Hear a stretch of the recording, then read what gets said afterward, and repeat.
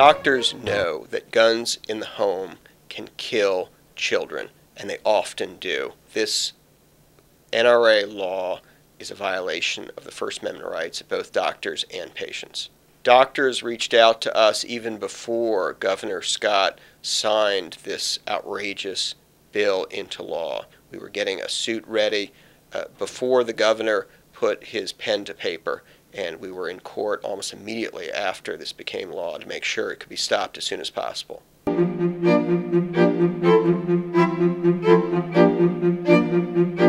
Because of this victory, families in Florida can get full, complete medical and safety advice from their doctors. There's no exception for the gun lobby or any other powerful lobby. They can hear the truth and they can make the decisions that they think are appropriate for their families. It may be appealed. If it is appealed, we will be there alongside the doctors fighting to make sure this law will never be in force again in Florida or any other state where the gun lobby tries to do this.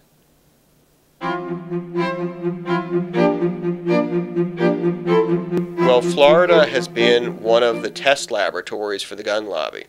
That's where they often start in enacting their outrageous guns everywhere laws. And this was the first state where they tried to enact and did enact this outrageous gag rule. So it was important for us to make clear that right out of the box, this is unconstitutional. The First Amendment does not allow the gun lobby to be silencing doctors and so if other states consider doing the same thing, they should know that they're going to have to answer in court and will probably lose to us.